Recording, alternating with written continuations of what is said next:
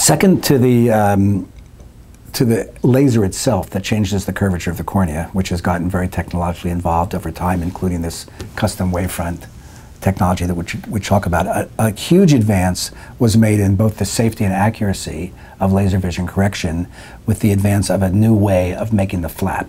As we saw before, most of the, most of the, prior to maybe six, seven years ago, flaps were made with a microkeratome. A microkeratome is a bladed instrument similar in concept to a carpenter's wood plane.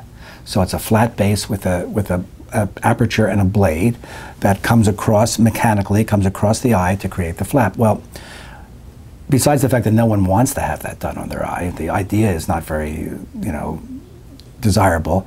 Uh, it did have some inaccuracies and it was fraught with some particular complications, as one might imagine. Incomplete flaps, irregular flaps, flaps that, that stopped halfway, etc., all of which would lead to delay in and or a bad outcome with laser vision correction. So today, uh, we don't use this type technology. We use a different technology, which we call Intralase technology. So the Intralase is a, is a different type of a laser, and this is the laser that's used to make the flap today.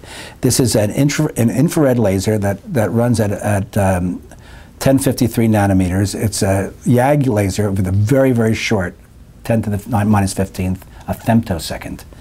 So this, this, is a, a, this is a tremendous innovation, both in the safety and the accuracy of laser vision correction. Its surgical effect is, is achieved through photodisruption at a molecular level. There's no thermal waves. The laser pulses are, are, focused to precise intrastromal locations, and I'll show you this.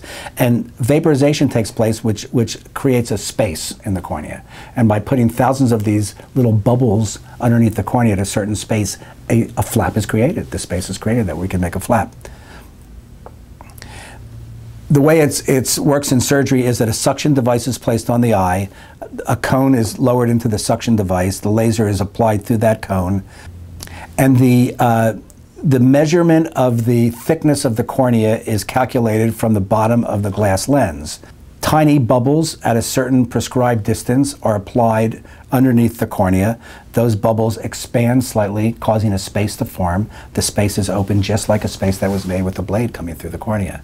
So what happens is with every pulse of laser energy, a, a tiny microplasma is created about one micron.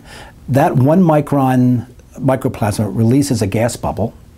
The gas bubble expands slightly, and then the, the, whatever fluid is also associated gets gets released, so a, a, space is created. So by placing thousands of these pulses in, for example, in a in a horizontal manner, we can create a horizontal space that's similar to the space of the flap. In addition, we can create a vertical cleavage plane by stacking the bubbles on top of each other. So once we get to the end of our flap and we want to make it up into the top of the cornea where we can release it, we can make a, a, vertical cleavage plane using the same technology, the very same technology.